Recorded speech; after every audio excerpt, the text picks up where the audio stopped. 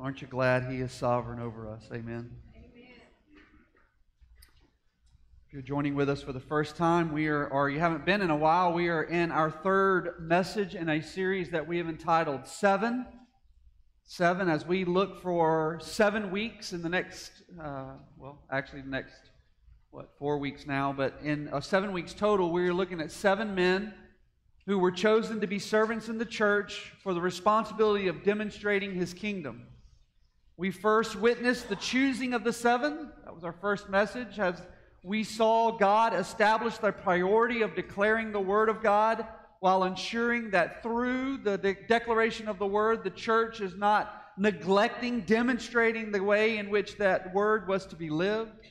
Last week, we saw one of the seven, one of the leaders of the seven, one of the ones that we are going to be following this week, last week, this week, and next week.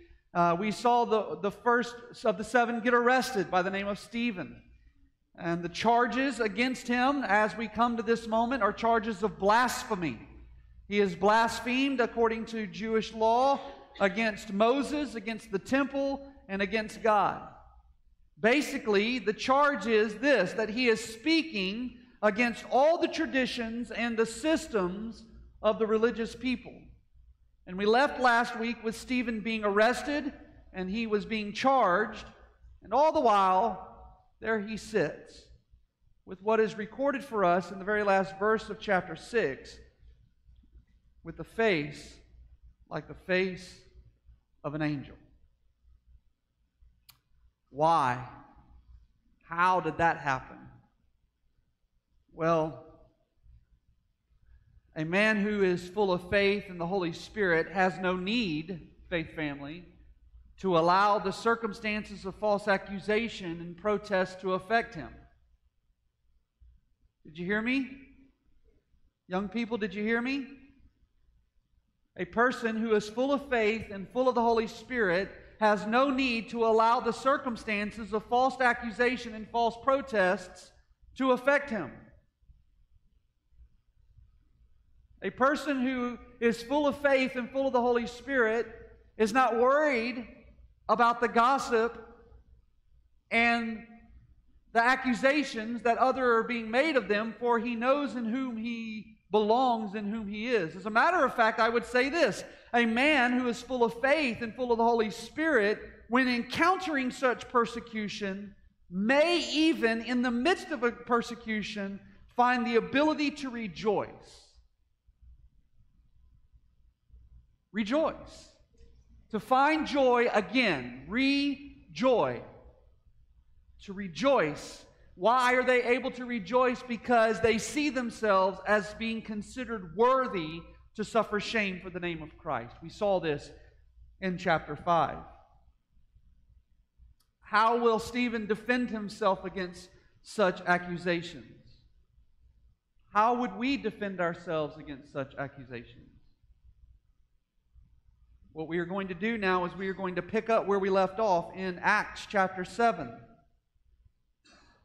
Acts chapter 7. Now, when I began to study this, I began to read this passage, and I was almost persuaded to break this up into two messages for one reason and one reason only length. His defense is a full 53 verses. Actually, his defense is a yeah, full 53 verses. But the more I thought on it, the more convinced I have become to keep his defense together its an entirety. Therefore, this morning we will be reading a longer portion of Scripture than normal. So please, for those of you who, like myself, struggle with um, attention deficit, we're going to have to focus, okay? We're going to have to focus on what we read and not get caught in the weeds, but to be able to see the forest despite the trees. I would encourage you is to have a um, to have a, a part of the scriptures in your hands uh, because it's easier to follow along and not to get distracted. Your mind tends to not wonder as much when you're looking at me reading it because that gets awkward because you're like, then you start paying attention to my shirt and the color of my shirt and my pants, and you're like, why is he, what is he doing? Why did he walk from left to right? I know this because that's what I do. and um, I should not I should not project that onto you in any way. I apologize. Now, for those of you who have been with me for any length of time, I want to rest your hearts. Yes, we are going to get through all 53 verses this morning. So, if you have to go to lunch and come back, you're more than welcome to for the next six hours. Be please be patient. I am joking. I hope. I hope. Uh, maybe I hope not. Maybe, maybe really my hope and my desire is for the Holy Spirit to come into this place and we don't stop worshiping for the next six hours, and all of us would have such an experience of the Holy Ghost that we would just want to sit here and just like, you know, like uh, Peter, let's just build a temple right here, man. Let's just let's just have it out, right? but for those of us who are used to this rhythm, I don't think it's going to take six hours, maybe three. So here we go. Ready? Acts chapter 7. We will be reading verse 1 through verse 53. Let us be reminded that this is the word of the Lord. The high priest said, Are these things so? Before I go further, I want to remind us, if you weren't here last week, what does he mean? Is it true that you're blaspheming? Uh, let, me, let me point you back up to verse 13. This man incessantly speaks against this holy place and the law, for we have heard him say that this Nazarene will destroy this place and alter the customs will, which Moses handed down. This is what he's defending, okay? Just so you know. Verse 1 again. The high priest said, Are these things so? And he said, Hear me, brethren and fathers. The God of glory appeared to our father Abraham when he was in Mesopotamia, before he lived in Haran, and said to them, Leave your country and your relatives and come into the land that I will show you. Then he left the land of the Chaldeans and settled in Haran. From there, after his father died, God had him move to this country in which you are now living. But he gave him no inheritance in it, not even a foot of ground, and yet, even when he had no child, he promised that he would give it to him as a possession and to his descendants after him. But God spoke to this effect that his descendants would be aliens in a foreign land and that they would be enslaved and mistreated for 400 years. And whatever nation to which they will be in bondage, I myself will judge, said God.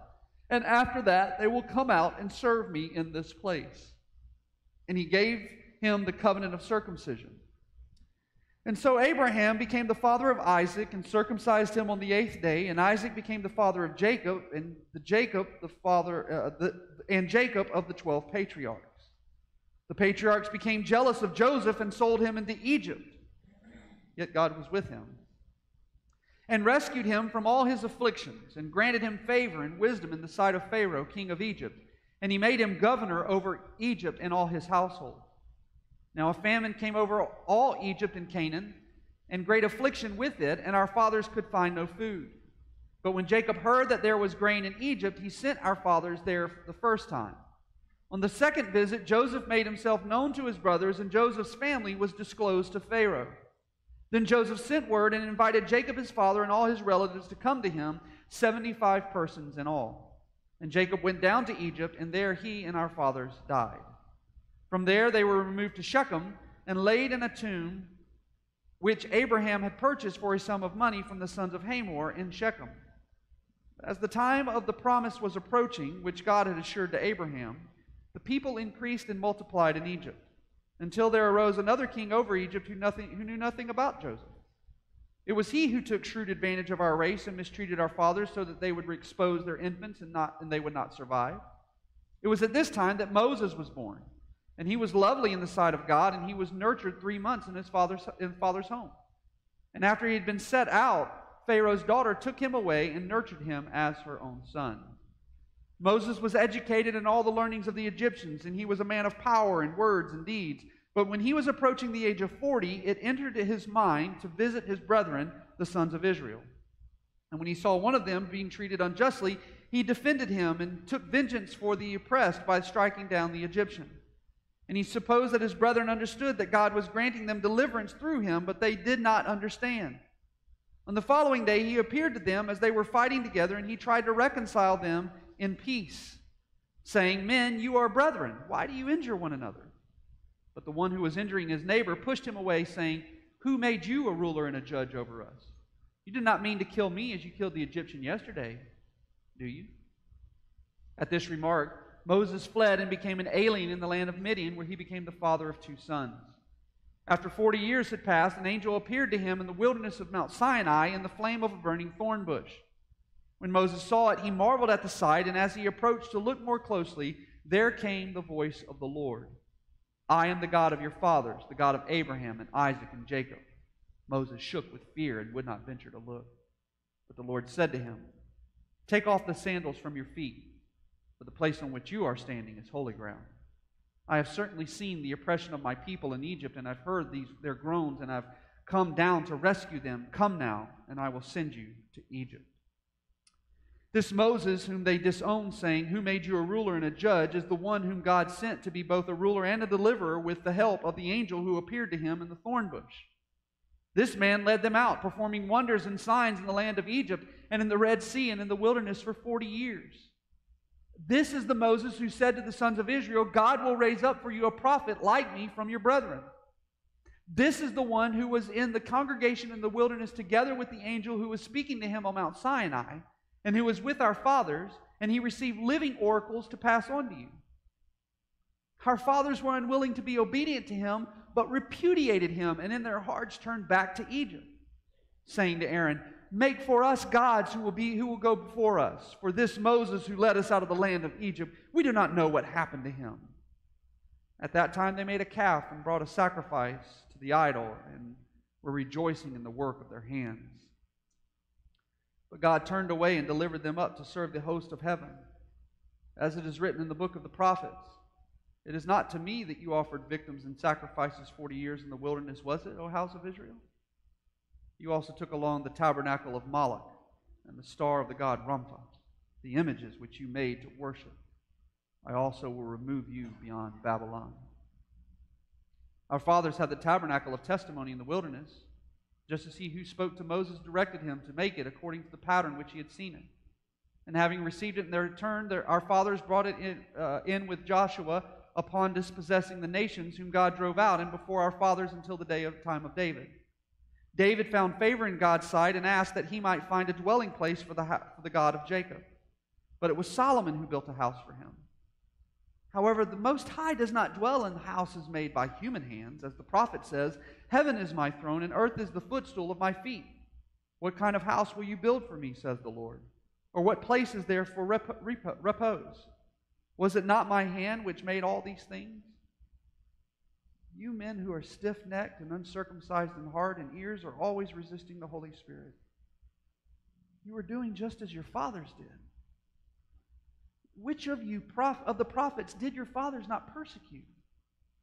They killed those who had previously announced the coming of the righteous one, whose betrayers and murderers you have now become. You have received the law as ordained by angels, and yet did not keep it. That is the word of the Lord. Let us pray.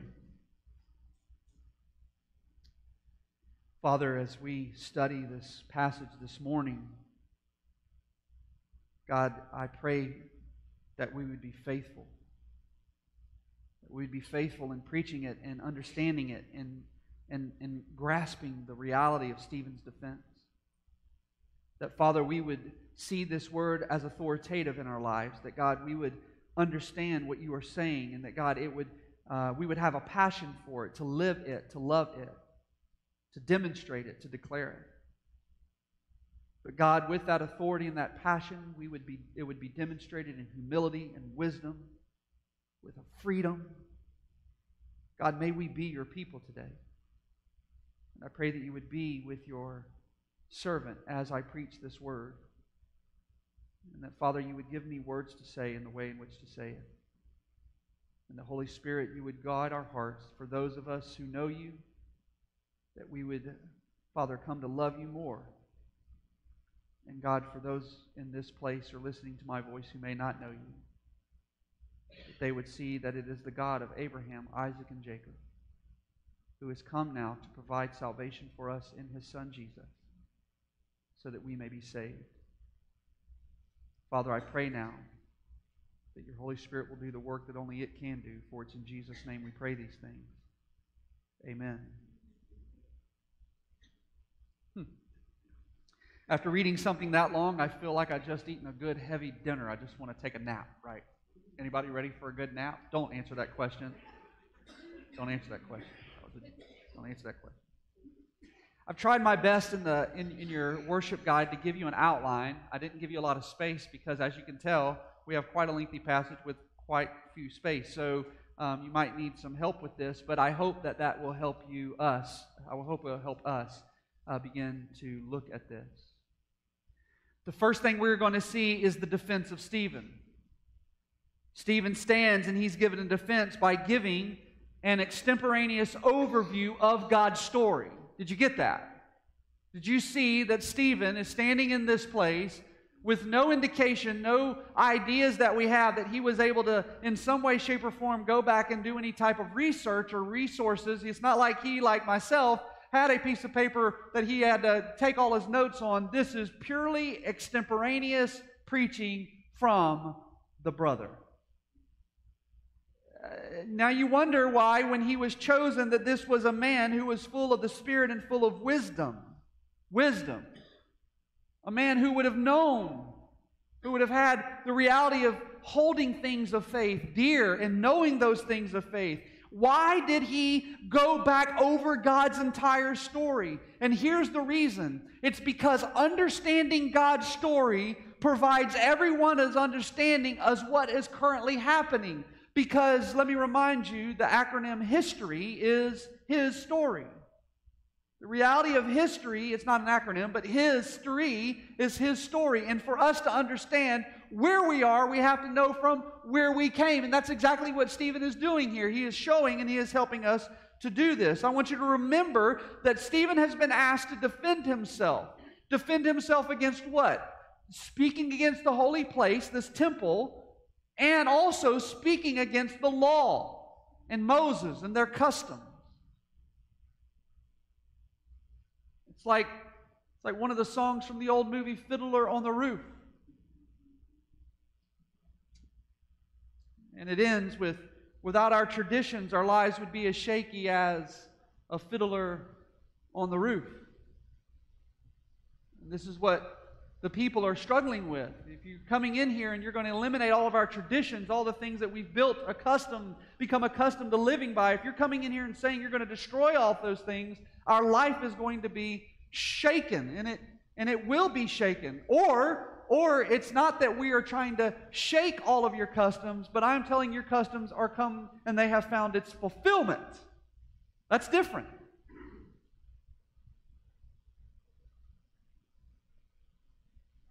I'm not saying that traditions are bad. No, actually, many of them are very good. I love many of the traditions that we, that we hold on to. But, faith family, when tradition blinds you to truth, it's very dangerous. When we build traditions that blinds us to being able to see what the truth is, then we are to immediately abandon our tradition and to accept and follow truth. Amen? Amen. So, the first thing he's going to do in his defense is he's going to defend himself against speaking against Moses. He begins his defense of him speaking against Moses. In verses 2 through 34, he is actually defending himself through the, for this particular um, accusation. And he's going to do this by talking about deliverance. Because this is an important part of what he is trying in his message and what his message is actually, actually giving them. Remembering that Stephen was full of grace and power, was performing great wonders and signs, and the people were unable to cope with the wisdom and the spirit with which he was speaking. So now he is going to come and defend this by giving a defense of these things. And the first thing he is going to start with in verses 2 through 8 is deliverance beginning with Abraham. Who is Abraham? Who would these men think Abraham is? Abraham is the forefather of the entire nation of, uh, of, of Israel. So he's going back to the beginning of the establishment of this nation, and showing them that I am not a man who have abandoned all that I've known. I am a man who knows exactly what I know. He's, he's basically laying it down. He's going, Oh, you think I don't know this? You think I don't get this? Well, let me go back to Abraham. And that's exactly what he does. Why Abraham? Because it was with Abraham that God established his covenant. And Stephen is going to root God's faithfulness to the people whom he is speaking to. And what is he going to root them in? In this truth that God chose Abraham not because of anything that he had done, but simply because he loved him.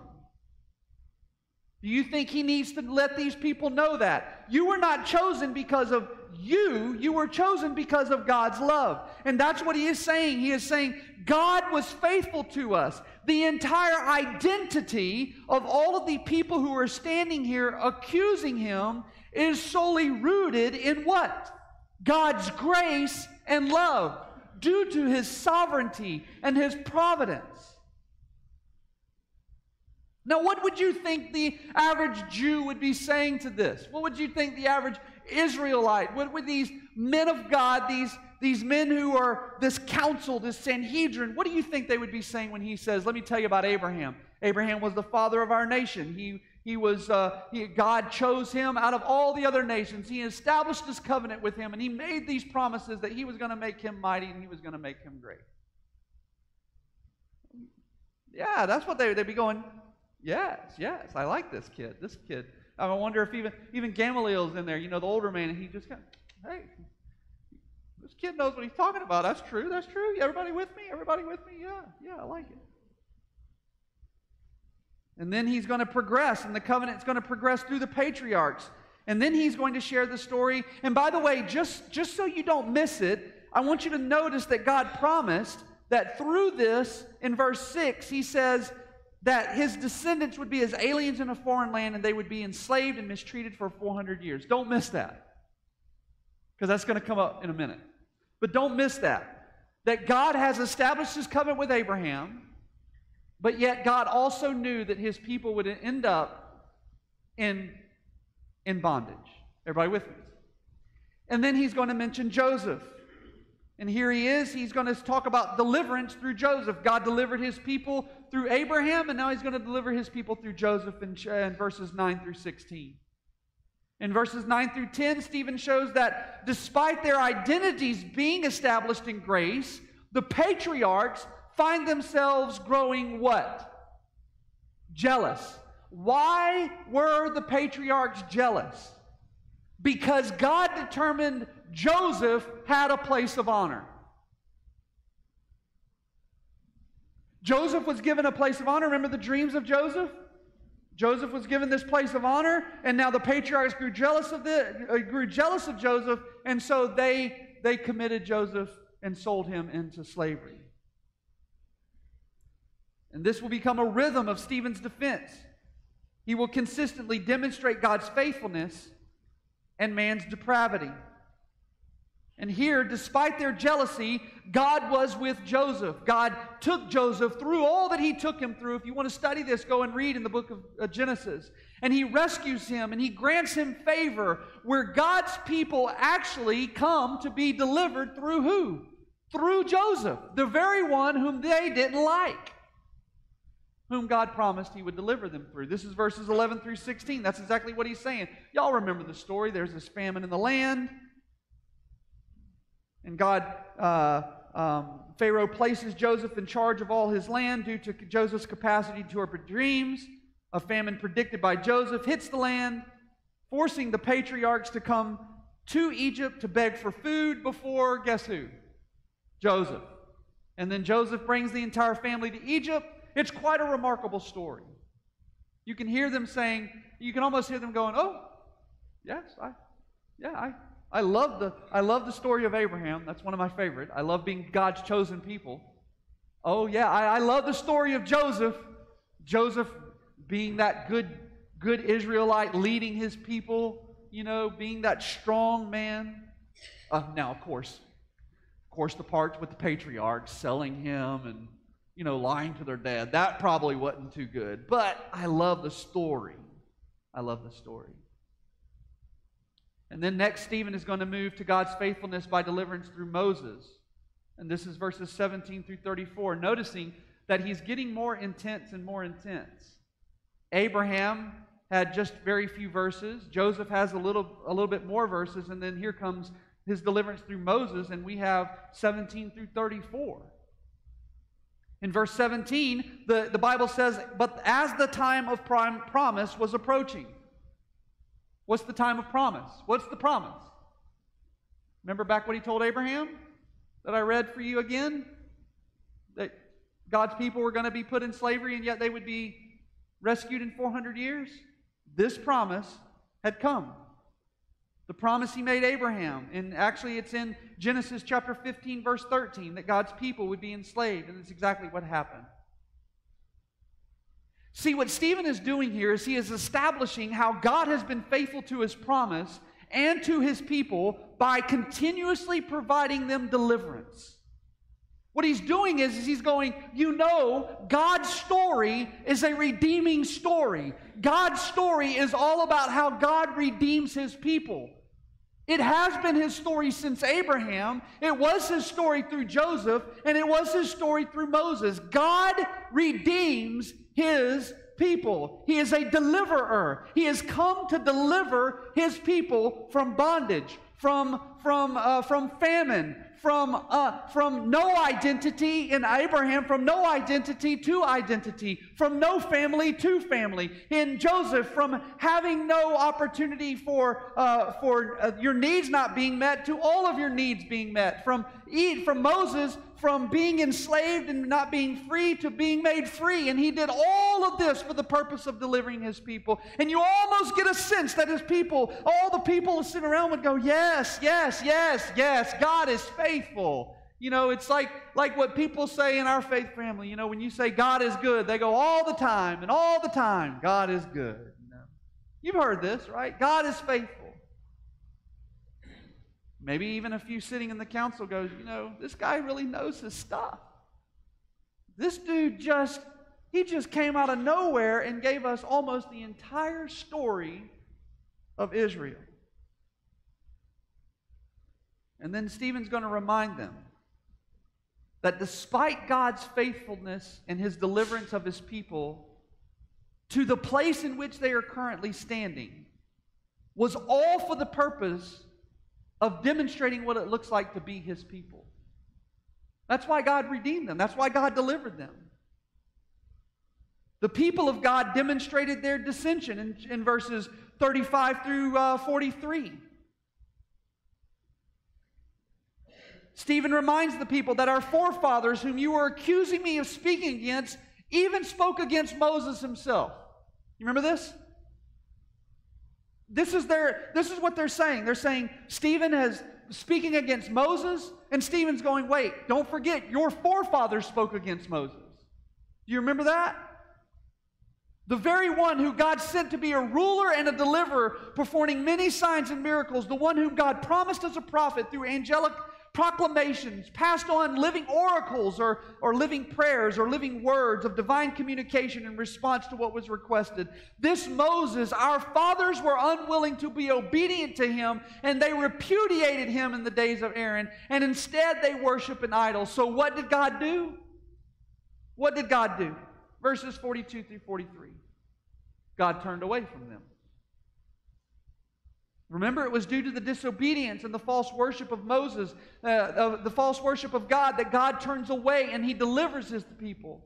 And all of this is saying, you say, I speak against Moses. You're saying, I don't know who Moses is. I know fully aware of who Moses is.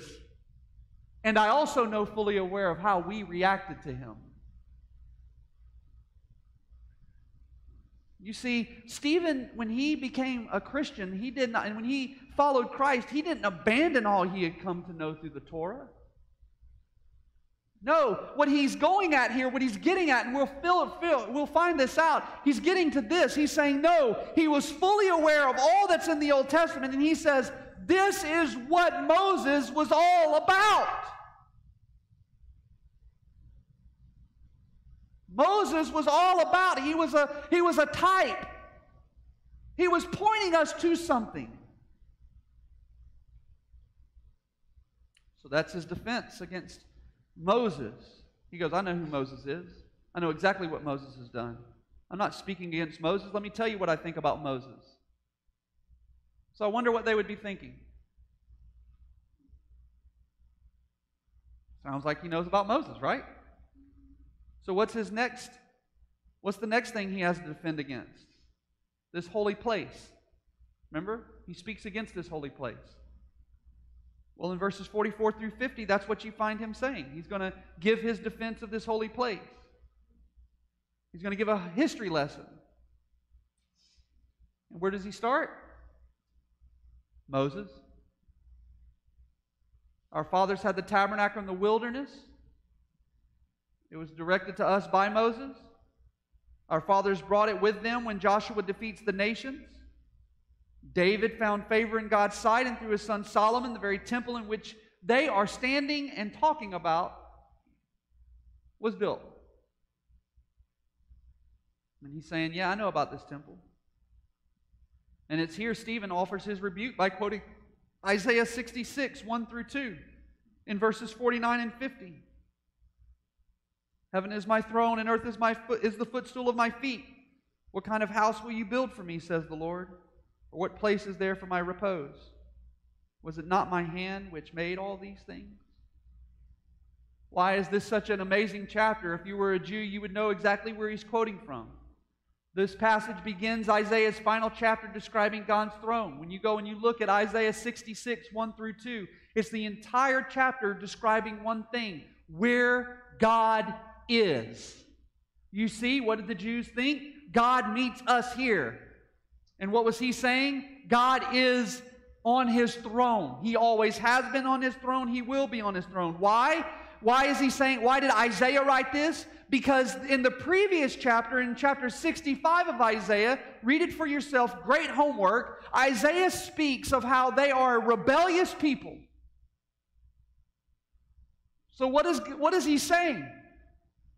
The Jew would understand this. They would say, wait, in 65 it says that we are rebellious people. We have rebelled against God. And now Isaiah, the prophet, comes in and he says, but yet God will bring about the new heavens and the new earth. This temple you prize so dearly was built by Solomon, but the Most High does not dwell in houses made with hands. So, what is he getting at? You think I speak against Moses? Let me tell you what I think about Moses. You think I'm speaking against the temple? Let me tell you what I think about the temple. And by the way, yeah, we could spend weeks on this whole passage. But I say all this to say that's the big picture. That's what Stephen is defending himself. So then, how does he answer? First, he defends, and now he's going to rebuke. Here's the rebuke of Stephen, verses 51 through 53. Stephen turns and he describes these men in three very distinct ways. Notice how he calls them. First, stiff necked. resistant, obstinate, stubborn, hard headed. You refuse to bow to God.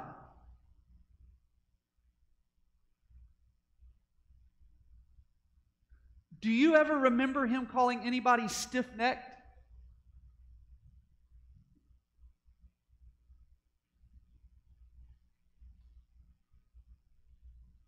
Listen to this. Moses was up on the Mount Sinai. He is coming down from the mountain. When he comes down from the mountain, guess what's built? The golden calf. And this is what he says. This is in Exodus chapter 32, verses 9 through 10. The Lord said to Moses, I have seen this people, and behold, they are an obstinate people. Now then, let me alone, that my anger may burn against them, and that I may destroy them, and I will make of you a great nation. These are some obstinate people. What is he doing? Do you see what Stephen just did?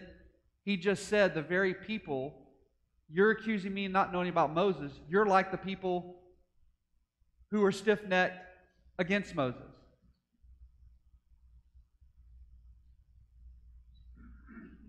Second, you are uncircumcised in heart.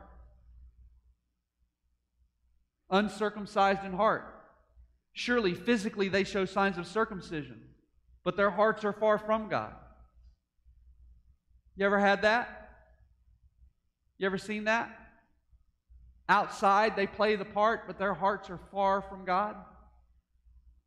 I would say the reason that many people who, who go to church today are struggling in their sin so much is because they are trying to conform themselves to an identity outside instead of allowing their hearts to be circumcised and changed, instead of moping their hearts up to being motivated and moved. We've gotten good in the church at behavior modification. Instead of allowing the gospel to lead people to repentance and faith.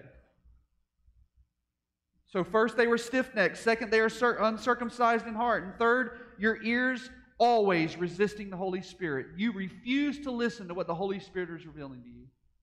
He's saying God has worked through his people over and over with repeated acts of mercy, and they have hardened themselves, they have stiffened their neck, and they have stopped listening to the word and work of God. And then Stephen, Stephen says this You are doing just like your forefathers did. Look back at the prophets. Look at the prophets. How did your forefathers treat the prophets? They killed those who announced the coming of the righteous one. What about Jeremiah? Do you know how they killed him? You remember? They stoned him to death. What about Isaiah? Do you remember how they killed Isaiah? They sawed him in half.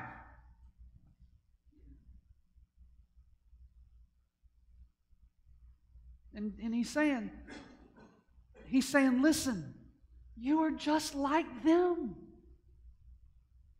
You're accusing me of not of speaking against Moses and the law. No, no, no, no. I'm speaking for Moses and the law. You are just like them. You're just like the ones who rejected Moses. You're just like the ones who rejected Jeremiah. You are just like the ones who rejected Isaiah.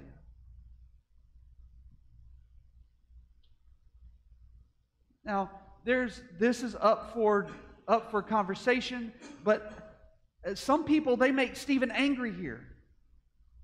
They make Stephen out, you know, he's hollering at him. I don't think he is. I don't think Stephen's hollering at him. Why do I not think that? We'll see that next week.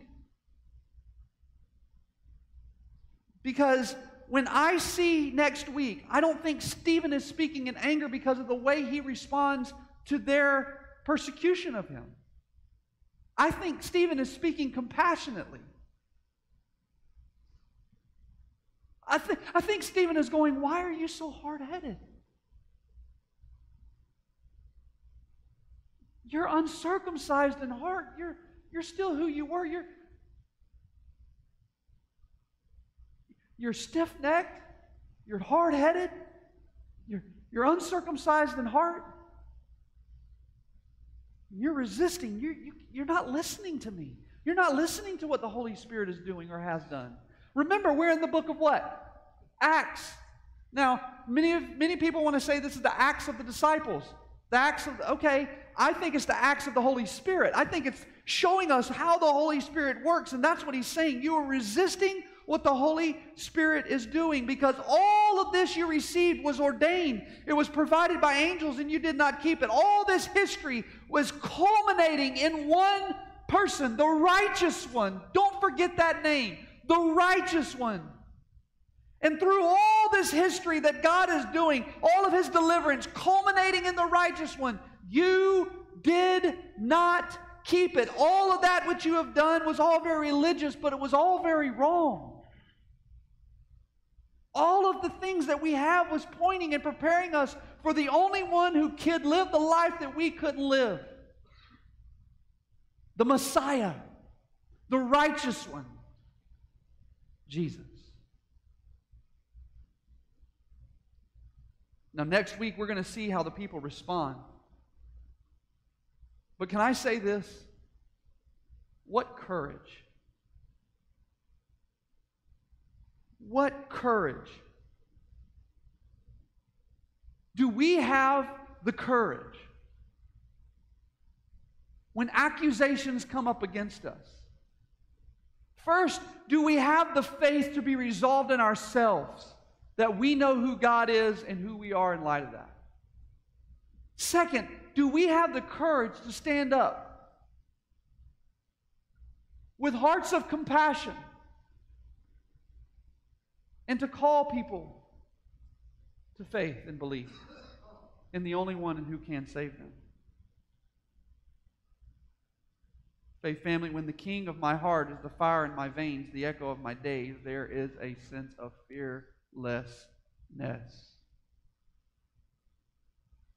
Can I say this? You have to fear no man if you fear God. You don't need the approval of any other man if you fear God. So, what is it we see here? First, we see with God we see that there, God is slow to anger and eager to forgive and to restore a broken people. Can y'all see this? Can y'all see that your God is a God who is slow to anger and eager to forgive and to restore a broken people? That God demonstrated his compassion on his people again and again and again and again and again and again and again from his very establishing the covenant with a people due to simple love filled grace. A people who could see the grace of God for them in Abraham, but can't rejoice in God's grace uh, on, on, for others God, in His providence, takes their rejected Redeemer in Joseph and extends His gracious hand on him in light of the jealousy of the patriarchs. And then God provides them a deliverer in Moses, and the people reject him. It's the story we see over and over and over and over again. God is gracious towards Abraham for no other reason than by grace, and it's those very people who are in the lineage of Abraham who think now, I am the favored one. Instead of extending that grace to the rest of the world, what do they do? They begin to take that grace upon themselves and make it their own, and they become obstinate. In Joseph, they, they find a redeemer and they have somebody who will who God has chosen to redeem them, and instead of accepting that, they get angry and they throw him into a pit and they hate him for uh, for being who God has called him to be. And Moses, oh my goodness, Moses, a deliverer who actually delivers them from slavery. And they go back and they say, I don't want to have nothing to do with this Moses. I don't even know where he is. Let's. Within 40 days. Now, y'all, y'all are thinking, I know, I know, I know, I know how this works. Y'all are thinking that I would never do that. Man, if I would have saw all those plagues, if I would have been at the Passover, if I would have, bro, if I would have seen the Red Sea part, you hear me? It would have taken me a lot longer than 40 days. It would have taken me a lot longer than 40 days to, to, to uh, not have faith in who God is and the man in which He called. Really? Really? Mark this Jesus has risen from the grave and has shown Himself to be true and faithful. I guarantee you, some of you by Monday will done forget it. You might not even make it out this building before you forget it. So before you look at them and go, no, man, if I saw all that, you need to, you need to simmer down. Simmer it on down. Because I don't know about you, but I know it only takes one person to bump into my bottle before my bottle spills out anger and frustration. And I totally forget about who God is, what He's done, who am I in light of what He's done, and what am I to do. It doesn't take much, does it, y'all? It doesn't take much.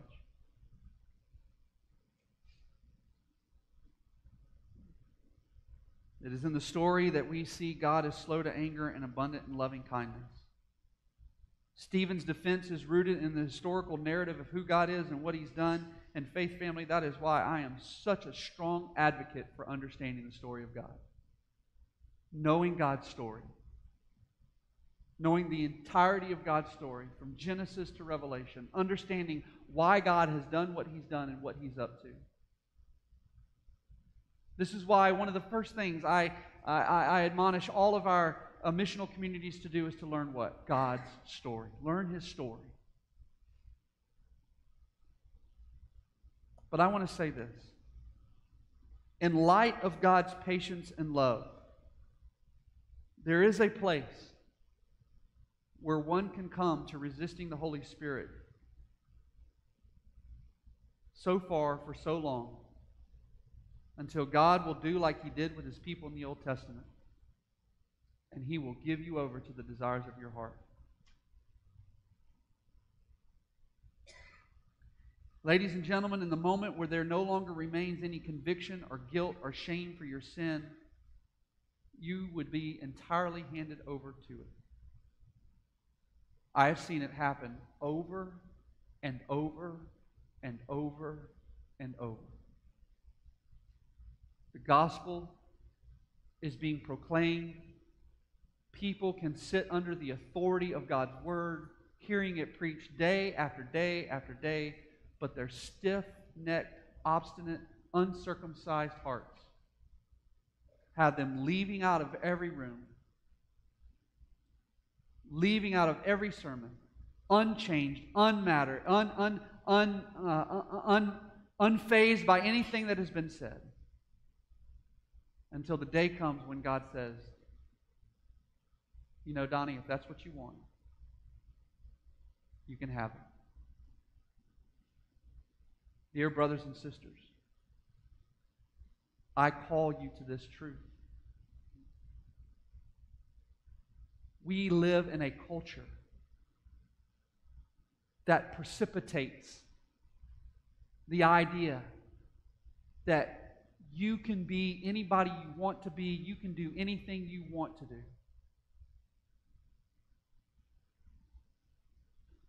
We have allowed this jargon and nonsense to enter into the church, into our parenting, all as a means of encouragement.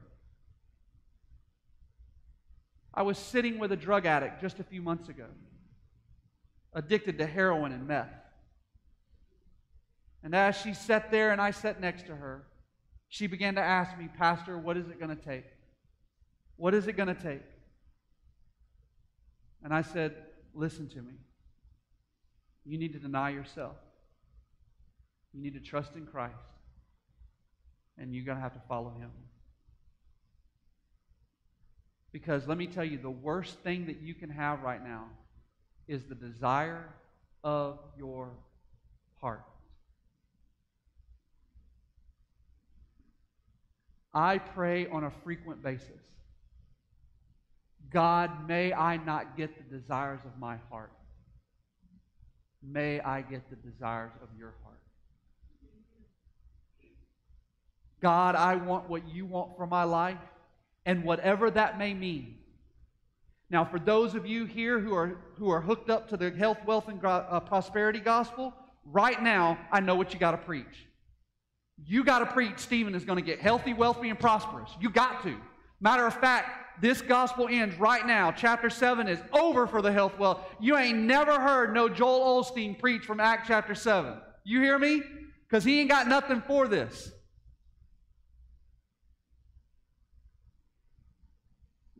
What are you going to say now? What do you think is going to happen next week?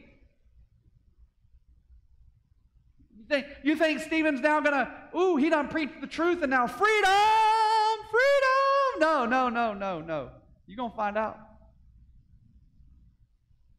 And I am here to declare to you, in light of God's patience and love, there is a place where one can resist the Holy Spirit for so long, and then God will give you over to the desires of your heart.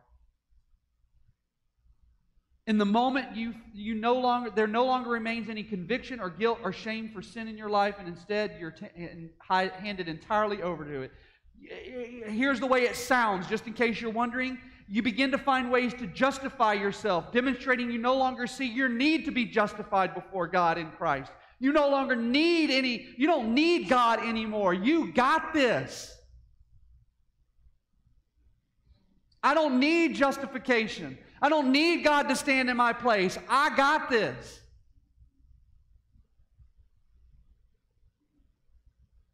Some of you are in here and you know you've sinned this week and you've been struggling with it, and you're going, uh oh, how do I know if I'm there? How do I know if God is giving me over? Ladies and gentlemen, if you are still experiencing guilt for your sin, if you are still uh, able to repent, then I'm telling you, God is still pursuing you. To God be the glory. The reality that God is slow to wrath doesn't mean there is no wrath. As a matter of fact, what do we see in Christ? That we see God's love and wrath simultaneously brought to us as He, the righteous one, was crucified, and through this, you and I might be saved. That in Jesus we discover the culmination of all of redemptive history finding its resolution. It's amen, if you will allow me to. For now, you and I are able to be a part of this redemptive story. And that's what Stephen is getting at. All of this story, from Abraham to Joseph to Moses, has been now found and redeemed in the righteous one, the only one, righteous, by the way, the only one who could do what is right, the only one who lived the perfect life that we could never live. And by the way, the only one who died the death that we deserve, deserve to die. all of redemptive history, all of God redeeming his people, being patient with his people, loving his people, being gracious with them, moving them, also, also punishing them and disciplining them because God loves those whom He disciplines, drawing them all through them, giving them the desires of their heart so the desires of their heart reveal that their heart is desperately wicked and in need of God. That's what we see in Judges, right? God gives them what they want, they do what they want, it ends up broken, they come back to God, and then it becomes this cycle all over again. All of this redemptive history is to be found completed in what? Jesus. And I got good news for you. You and me now have the opportunity to be a part of this redemptive story. We are, to, we are redeemed, as the song goes, to redeem the world around us. So we stand in the lineage of men like Abraham we stand in lineage of men like Joseph, David, and Stephen.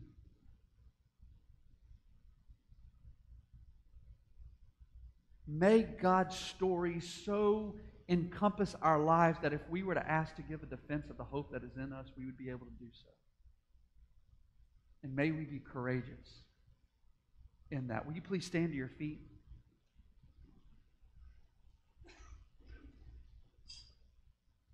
As we prepare ourselves now for, for responding to this word, I ask that if you're in here and you're an unbeliever, let me kind of share with you what we'll be doing in the next few moments.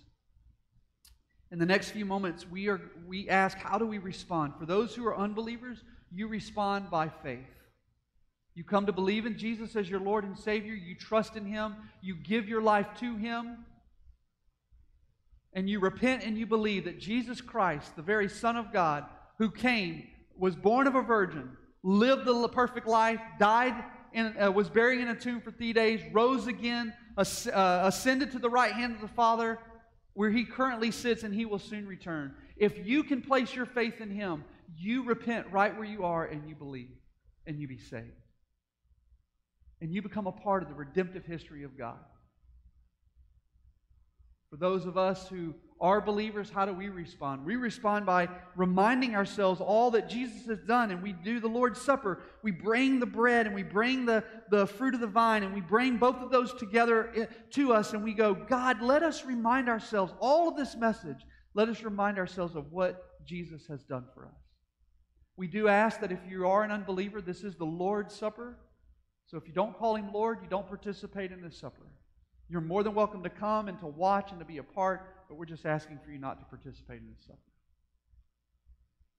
Next few moments, what we're going to do is we're going to spend just some time in quiet, each of us, as we go before God, responding to this word that we have heard. For those of us who are believers, we come repenting for our sanctification so that we be made more like Him. And for those who are unbelievers, you come repenting in justification so that you can come to be in Him. As we are here, faith family, may we now go before our great God and King so that we do not enter this table at an unworthily manner. Let us pray.